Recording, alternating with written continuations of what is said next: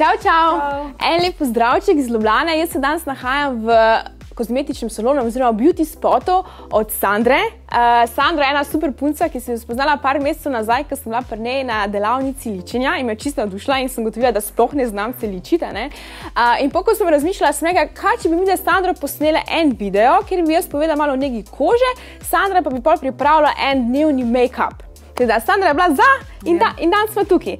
Da, uh, jaz predlagam, da vam v bistvu začnemo na način, da vam jaz povem, na kak, na kak način pripravim kožo zjutraj, si, oziroma na kak način si negujem kožo, potem bo Sandra naredila en dnevni make-up na meni in potem še zaključimo z tem, kako negujemo kožo zvečer. Teda, ja.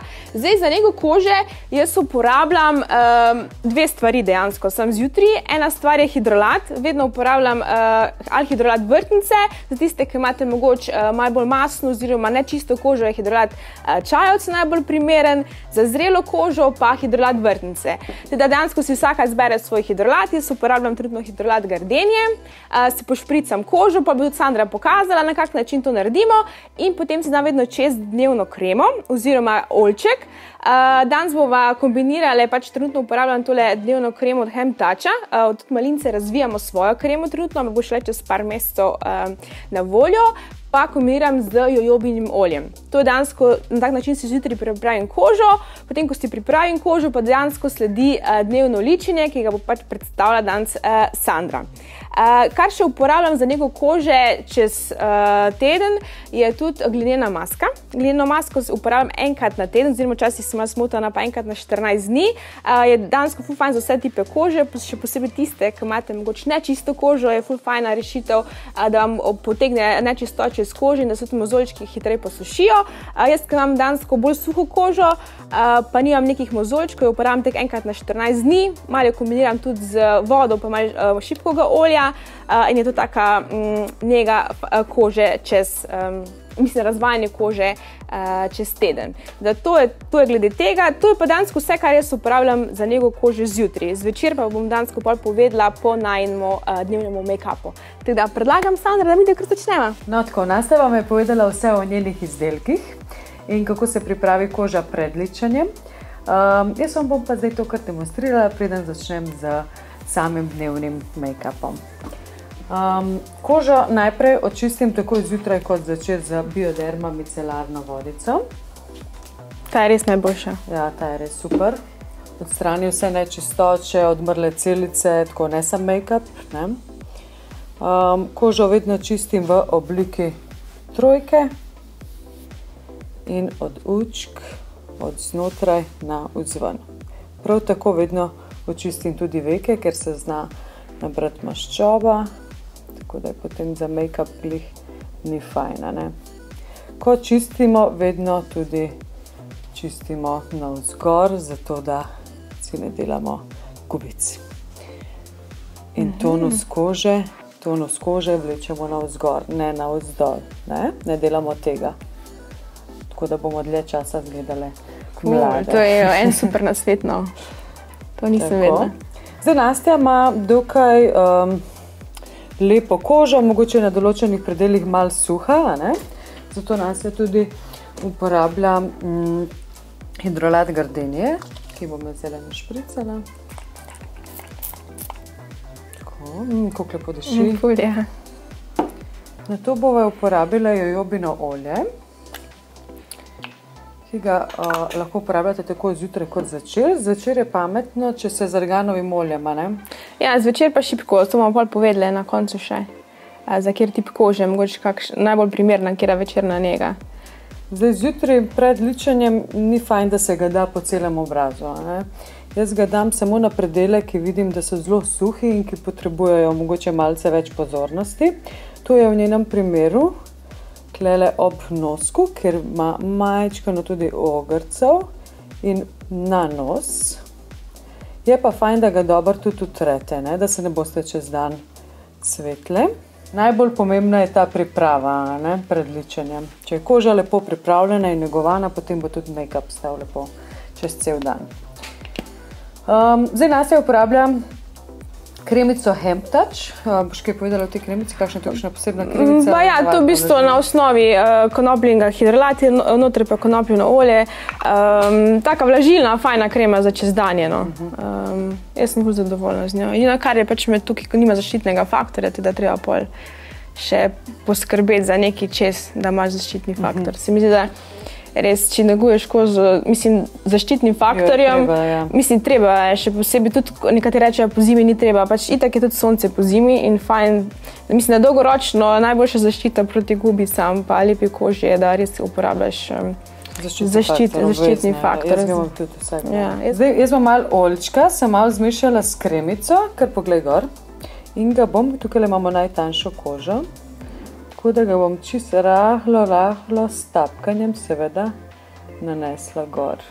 Tako zdaj je nasina koža lepo primerno navlažena in pripravljena za dnevno ličenje. Um, nas je uporabljal BB kremo, to pa zato, ker nima na koži nobenih nepravilnosti, koža je lepa, tako da potrebuje samo dodatno zaščito, rahlo prekrivnost in pa seveda zaščitni faktor, kar je v tej kremici. Tiste, ki pa imate bolj problematično kožo, pa rabite malo večjo prekrivnost, vam ta kremica seveda ne bo zadosti.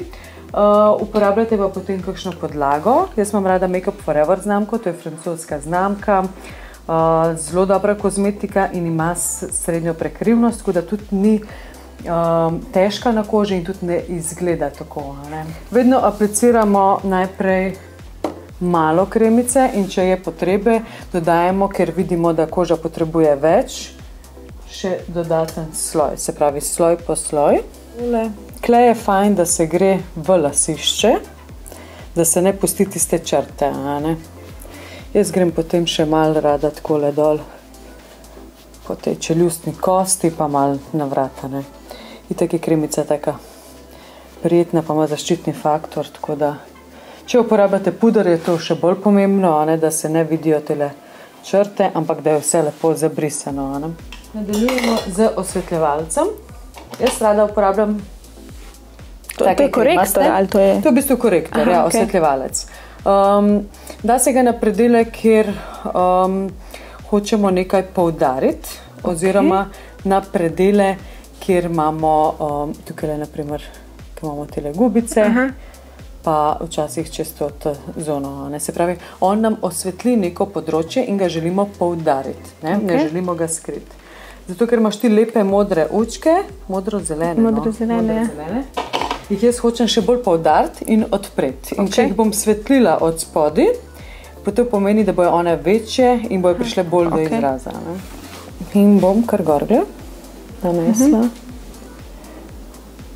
pod učke. Ti si vedno daš to na roko, pa pol ščopičem. Ja, ne s maram dajati s tistim gor, mm -hmm. ker se mi tako le je bolj higijensko. Mm. Razen če vem, da je um, izključno in samo za mene, a ne Ja. potem ga seveda uporabljam. Drugače pa jaz na strankah tega ne delam. Ne.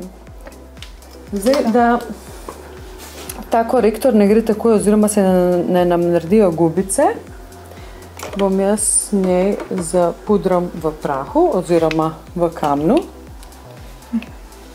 kar gorgle, takoj zamatirala to področje. To pomeni nase, da, ga bom, da bom preprečila, da bi se ta puder zarezal v tvoje gubice. Gubice, ok. Uh, bronzer, uh, Ja. bronzer se daje na tiste predele, kjer te sonce največkrat um, opeče. dobro. to so ko obrazne kosti, od ušesa proti kotičku usnic, uh -huh. ponavadi nas tudi klele mal ob uh -huh. čelu, Čelu. pa mal Nos. Na nosu. Zato jaz ti ne bom zdaj čez nos šla, uh -huh. ampak ob nosu. ne. Fa, fajn je, da je čopič, ki se uporablja pri bronzerju, tako poševen, oziroma uh -huh. tako ozek. Ne? In sicer smo rekli, gremo od vrha ušesa, se pravi od tukaj, po obrazni kosti. Čutiš, klele, kako uh -huh. ti grem točno po tej uh -huh. kosti, proti kotičku usnic. In smo rekli, malo ob lasišču. Zelo pomembno je, če je bronzer zelo pigmentiran, da se ga daje tudi postopoma. Tale moj je. tako da imam vedno zraven še en suh, oziroma čist, pardon, čist čopič, da vse skupaj še lepo zablendamo. Ne. Torej smo rekli še enkrat od vrha ušesa se pomikamo proti kotičku ustnic. Gledamo, da ne gremo previsoko in da ne gremo prenisko. Nas ima zelo lepe, ker malo se nasmej, lička, in bi bilo škoda, da jih ne poudarimo. Tako da zdaj bomo pa uporabljali tisto, kar si prej rekla. Okay, Rdečilo, jaz bom večkrat tako le še ob nosku. Mislim, da je skozi to isto, bronzove rdečilo. No, v tej paletki uh, je lepo uh, prikazan in bronzer, in štiri vrste rdečila. Okay. Torej, bronzer pol ni rdeč, ne super rdeč. Tako. Še učim se. Z bronzerjem poudarimo konture. Hočemo nekaj zožiti, okay. oziroma skriti, ker je Dobro. to temna stvar. Um, Tisto, kar je rdečilo, pa samo kot da malo osvežimo obraz. Okay. Eni uporabljajo eno, eni oboje, eni pa samo rdečilo. Uh -huh. Odvisen, kaj je kdo vajen.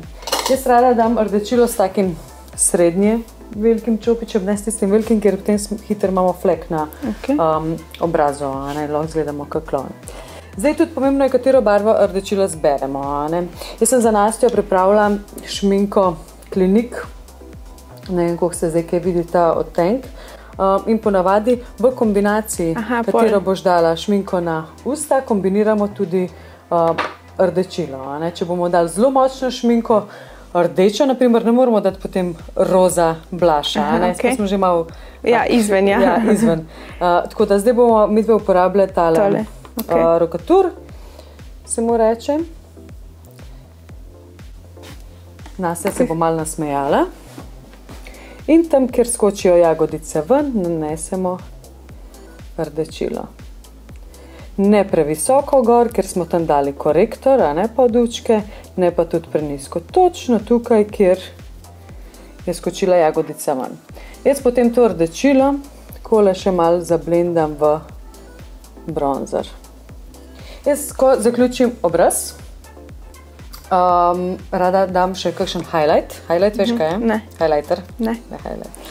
um, zdaj bom uporabljala od Meka, ker je tako soft and gentle, se mu reče. Uh -huh. In je full, full nežen, le lahko pogledaš, vidiš ja. kole. Kaj pa je v bistvu spohore tega? Um, highlight? Zdaj, highlight, kot vidiš, so kot neke bleščice. Lahko bi se lajčno temu rekel, da je bronzer z bleščice. Aha, okay. Ta je zelo, zelo, zelo um, nežen okay. in se ga daje vedno na najvišjo točko, kjer smo dali bronzer, najvišjo uh mhm. -huh. točko te kosti. Uh mhm. -huh. To pa zato, ker se, ko se obrneš, ne, se lepo vidi ta uh -huh, okay. lesk na koži. V bistvu on nam pomaga pridobiti zdrav videz, zdrav um, lesk kože. Okay. Še posebej, če smo od spodaj dali tako olček lep, potem to dvoje skupaj je odlična kombinacija. Jaz ga rada dam potem malo s prstom in zdaj vidite, kako se nasina koža lepo sveti. Tako lesk ima. Um, jaz rada potem enkrat, ko sem kožo lepo pripravila, našpricam še enkrat z hidronatom, da se vse skupaj lepo usede. Zdaj vidite, koliko je še lepši lesk na koži. Ne? In to bi bilo, kar se tiče kože, vse. Koža je lepo pripravljena, lepo podlagoma, zaščitoma, ja, ne sveti se preveč, konture niso preveč izražene, tako da je vse tako naravno. Ne? Malo smo podočnjakov skrili, um, zdaj se bomo pa posvetili nasilnim učkam. Um, Ko kar rabi koža podlago, ne? rabijo tudi učke, zato da senčke zdržijo čez cel dan. Um, tole je kot en tak primer, to je iz make-up paint pot, se mu reče. To je spet nekaj nova stvar. Uh, v bistvu ni nova, je že kar nekaj časa, ampak deluje kot primer za ja. oči. Ja. To um, nam bo pomagalo, da se veka ne masti kot prvo, kot Aha. drugo, pa da, kot sem že omenila, da senčke dlje časa zdržijo na učkah, da se ne premikajo. Ne? Če si se mogoče kdaj šminkala, uh -huh. pa se te, potem tukaj so se v te gubice naredile take zareze senčke. Uh -huh. No, to, ta zadevca nam pomaga to preprečiti. Ne. Tako da jih bom jaz eyelinerja ne bom delala, da ne bo preveč, jih bom pa dala mečken barvice ob samo veko. Kot sem že rekla, bom izbrala naravne barve, uporabljala bom tako paletko, ki ima same take zemeljske in pa fluffy čopič. Začele bova s takole svetlejšo rjavo. Pomembno je, da najprej vzamemo čisto malo barvo, otresemo in jo začnemo nanašati gor na zunanji strani očesa, ker tam, ker želimo največjo intenzivnost, tja najprej položimo čopič. Torej, nikoli ne začnemo na notranji strani učka, ampak vedno na zunanji, ker hočemo, da je tukaj največ barve. Torej, točno tukaj, kjer pade čopič noter avtomatsko, do tja blendam. Predel pod obrvmi pa pustim bel, uh -huh. oziroma um, v naravni barvi, zato da um, nanesem tja malo highlighta kot prvo, kot drugo pa zato, da lahko poudarim lepo obrvi. Ne. Nanesla ti bom pigment, to je tako, uh -huh. Ki se mal slika. Se slika. Ne bom z njim pretiravala, ampak okay. čisto kmal, da ti poudarim. Um, jaz zelo rada tudi to s prsti na našem hm. gor, ker okay. ima potem še lepši efekt. Jaz vzamem potem še en mali čopič, lahko tudi to naredite s tistim predhodnim in zablendam na vzgor. Ne. ne zablendam čisto do vrha, najprej vladuje tista mat barva na vrhu. Jaz bom nasti pod učkem dala še malo bele barve. To sem pa vzela iz te paletke, najsvetlejšo, belo barvo, ki je mat. Zato, da ti zdaj poudarim predel uh mhm. -huh. pod obrvmi komod greste lahko s to barvo v obrvi, ker bo posledično kasneje senčka lepše oziroma dlje časa stala. Ne. Jaz sedaj uporabljam od meka barvice, zato ker so dolgo obstojne, nekatere tudi vodoodporne. Um, tale je Teddy, je taka temno rjava, ne? čez dan mm -hmm. se mi zdi, da so um, barve, ki so v zemeljskih tonih rjave, čist dosti, da ne pretiravamo z eyelinerji in s kakšnimi črnimi barvami na obrazu. In sicer jo bom nanesla od sredine učka. Kot vidite, ima tudi malo, malo, malo bleščic. Zelo pomembno je, da je barvica prej dobro ošiljena, če hočemo delati lepe poteze z njo, oziroma linije. In jaz jo zraven, opa, gledaš mi košek, Vzamem čopič, čopič vedno mora biti tako na pol odsekan. Tak čopič nam potem tudi lepo to barvico zabriše oziroma zablenda. Ne? Tako, kar prečke, super. In še na to stran.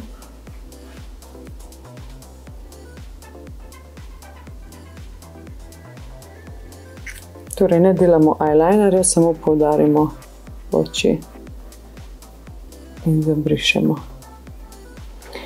In zdaj se posvetimo obrvem, ki so mi grede najpomembnejši del na obrazu, saj z njimi podarimo obliko obraza, um, lahko nas naredijo žalostne, jezne, nekatere, če imajo previsoko lok, lahko izgledajo non-stop zaskrbljene, non-stop jezne.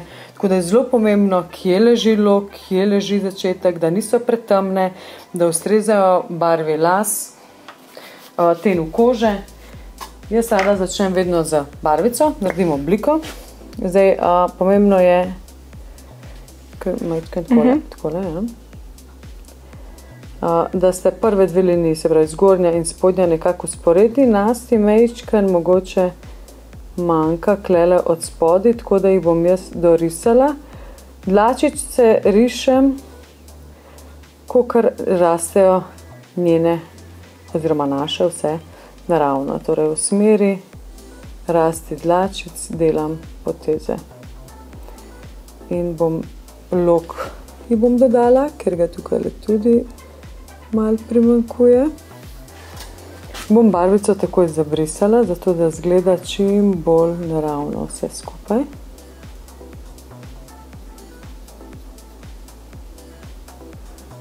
Da to niso take grobe linije, grem jaz vedno čez obrvi še z senčkami. Senčke uporabljam od Anastasije Beverly Hills, vedno prije tak duo, ena svetlejša in ena temnejša, svetlejša za začetek obrvi in temnejša za konec. Zopet s čopičem. To mi bo tudi obrvi mečkan omehčalo, plus poudarilo barvo, ki je od spodaj. Da pa obrvi držijo cel dan, uporabljam Sopraus. Sicer je postopek zdaj tak, to je bilo tako eno milo, pri nas v Sloveniji Ja. je dostopen razen pri um, eni vizažistki, ki ga je zdaj uvedla v svoj salon. Um, milo, ki v bistvu obrvi, um, deluje kot gel za obrvi. Aha. In jih v bistvu um, najprej počešemo tako le gor. Njegova naloga je, da ob, so obrvi čez cel dan na svojem mestu, tudi, da niso gor, da niso Aha, gor, okej. ampak da so v liniji, v kateri smo jo mi narisali. Ampak to že polaš na koncu, ko že jih namažeš. Na koncu in sicer najprej mečkam takole namažem. Aha, na Če gre zelo težko, je pa dobra fora tako, da uporabite hidrolat, našpricate ali pa našpricate gor ne, Pa pol. in vam milo. Zato, da ga v bistvu čist vidiš, Ja, ja. kakšen postane. Mm, kako diši ta tvoj hidrolat. Fulja. Gardinja, lepo diši. Že vidiš, uh -huh. da se obrvi čez cel dan na svojem mestu. Boš videla, kot malih bo strdilo. Uh -huh. Ene jih rade čez gor počešejo, ne? uh -huh. ene pa v smeri, kuka rastejo. Za finiš pa šminkica. To je nastina šminkica, drugače in jo zelo rada porabila. Mislim, da v tvojemu v temu logotu, uh -huh. ne stilu, tako nekako, ti tudi Ve, ful paše. Zdaj, če naprimer, bi želeli večjo obstojnost, ne, uh, je fajn, da se naredi prej kakšen peeling na ustnicah, to kot prvo, uh -huh. priprava. Potem se jih lahko s kakšnim olčkom, ne vem, ker ga ti priporočaš, mogoče za ustnice tega jobinga tudi. Ja, jo bi da najbolj splošno, pa tudi malo tako dvostek deluje, po mojem, tudi najbolj Um, stojno. in se od spodaj da barvica za usta, uh -huh. ki posledično šminka na njej potem dlje časa zdrži. Uh -huh. no, Večkrat bom sam šla še za barvico. To bi lahko tudi prej naredila, ampak želim, da prevladuje nastina šminka, tako da bom samo tele mm, kotičke in pa tale kupit, se reče, kupit bo poudarila. No, tako šminkice sve dale. Um, noter sva dale še v učko belo oziroma tako krem barvico, zato da so učke še bolj poudarne. Na spodnje trepalnice ne bova dala nič maskare, ker ima Nastja že svoje in bi bilo malček preveč mogoče. Uh, pa tudi želimo uh, ostati pri tem svežem luku in da na tak način tudi bolj odpremo učke. ne. Um, za finiš pošpricamo še s hidrolatom. Za tak fresh look in taram. To je fajn look. Uhu. Ti je všeč? Ja, zelo. Zdaj ti velja iskr doma, veš, da bi mi lahko tega. Evo, jaz sem uh, namazana, en tak dnevni make-up, uh, dejansko nismo nič pudra uporabljali. Ne, ne, nič. Um, mislim, da si nam vse povedala, lepo razložila. A jaz sem vesela, da sem se spet nekaj novega naučila, uh, ker tukaj mi znanja res manjka, negujem kožo že, sama mazati se pa še. ne, Zdaj se bom znala boljš. Tako je, ne. ja. Um, desetkrat pogledala video. Ja, pa še ni dvakrat prije na tebi na delavnico, pa, pa, Pa pa, že, je, poč- pa ja. že počasi. a. Uh, okay, to je bilo glede dnevnega ličenja. Zdaj zvečer, zdaj se itak ne bom tega dala dol, ker pač je jutro, a ne, pa moram še to izkoristiti, ta uh, Čez make-up dan, ja. čez dan. Glavnem zvečer si pa jaz vedno kožo dejansko potem očistim z, hidrola, uh, z hidrolatom, ja, uh, z micelarno vodico. Eh, Ker na vatico pa si fajn očistim, da dejansko grejo vsa ličila dol, vod, eh, potem si obraz fajn umijem, eh, pošpricam s hidrolatom in na to dam čez olček. Zdaj, čisto odvisno, kak tip kože imate, ker, olč, ker olček boste uporabili. Jaz delam kombinacijo šipkega olja, ki je primeren za vse tipe kože in tudi full fajn proti gubicam. Uh, kombiniran z arganovim oljem, ki je dobro za zrelo kožo in je fajn nahraniti kombinacijo tega dvojega. Drugače imamo pa potem tudi za tiste, ki imate zelo suho kožo, je primerno avokadovo olje, uh, ki je primerno za res za zelo uh, suh tip kože, pa tisti, ki se vam že mogoče malo lušči. Uh, potem imamo uh, jojobino olje, je zelo fajn, je to zelo neutralno olje, ki je tudi primerno zjutraj, pa za vse tipe kože, ki imate, tiste, ki imate mogoče masno kožo, aknasto kožo, jojoba najbolj taka neutralna za uporabo zvečer, lahko to kombinacijo s šipkovim oljem. Uh, potem uh, sem še kjer ga pozabila. Ja, tiste, ki imate pa res probleme z zelo nečisto kožo, z mozolčki, z aknami, je pa najbolj primerno zdravilno konopljeno olje, uh, ki kožo, v bistvu, ki mozolčke fajn posuši uh, in naredi kožo. In to je eno od olje, ki je res zdravilno. No? Uh, to je pa res za tiste, ki imate probleme z aknami in z mozolčki. Tokle na, na, na hitro o različnih vrstih olčkov za večerno nego. Edino, kar še je pomembno pri večerni negi, je to, da vedno uh, olček nanašamo na mokro kožo, oziroma prej pošpricamo s hidrolatom in nikoli na suho, da, da se v koži zadrži vlaga in da se tudi olček bolj šupije. Teda, to je glede večerne nege kože obraza.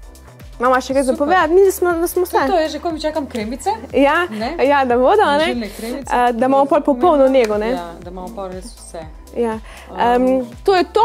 Uh, hvala, ker ste bili z nama. Uh, upam, da še sledite v naslednjih uh, mestih, kakšna nova epizoda, nad, ja. kakšna nadgradnja. Nadgradnja, um, še večerni make-up, mogoče ja. bo videl. Drugače pa nam lahko komoč sledite na družabnih omrežjih, na najmo YouTube, kjer bodo v prihodnosti še dodatni uh, videi. Mhm. Uh, en lep dan vam želimo in čau, čau. Čau, čau, lep dan.